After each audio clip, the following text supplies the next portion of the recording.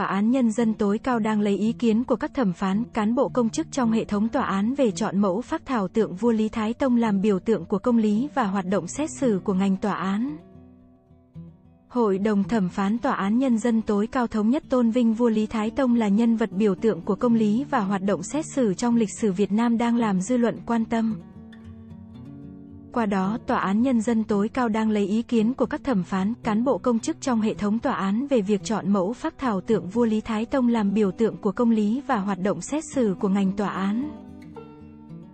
Việc lấy ý kiến được thực hiện từ 23-28.4 tuy nhiên, nhiều ý kiến khẳng định việc chọn vua Lý Thái Tông là không phù hợp.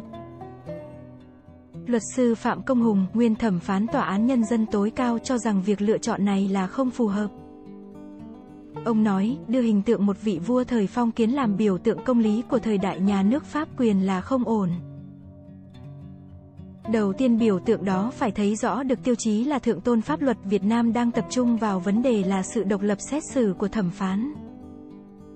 Một ông vua, không phải đại diện cho công tác xét xử, xây dựng một biểu tượng là xây dựng điều hoàn hảo toàn diện nhưng một con người cụ thể thì khó hoàn thiện toàn bộ, bởi ai cũng có ưu và khuyết điểm. Biểu tượng công lý thường được xây dựng nhân vật tạo ra khát vọng vươn tới chứ không phải một con người chủ thể, ông Phạm Công Hùng nêu quan điểm.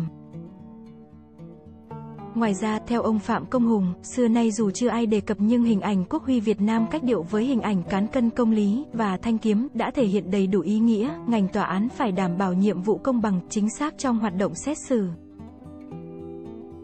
Đồng thời, nhân danh quyền lực nhà nước và là công cụ mạnh mẽ để gian đe, chấn áp tội phạm. Nên như vậy là đủ, ông Hùng nhấn mạnh, một thẩm phán tại thành phố Hồ Chí Minh cũng cho rằng, việc lựa chọn nhân vật nào làm biểu tượng công lý hoặc để trưng bày tại tòa án đối với thẩm phán không quan trọng.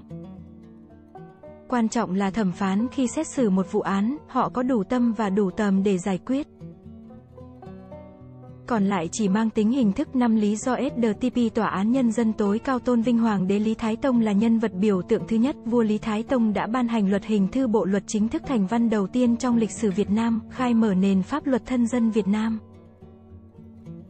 Thứ hai, xây dựng xã hội thượng tôn pháp luật thiết lập và thi hành chế độ xét xử theo pháp luật đưa hoạt động xét xử trong cả nước vào khuôn phép sòng phẳng, rõ ràng góp phần đưa xã hội phát triển ổn định, công bằng và văn minh.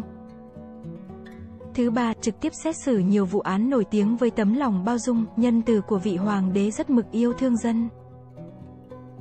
Thứ tư, đúc chuông lớn đặt ngay trước cửa chính điện Thiên An để người dân trong nước nếu có oan ức thì đến đánh chuông, bày tỏ để được thấu xét.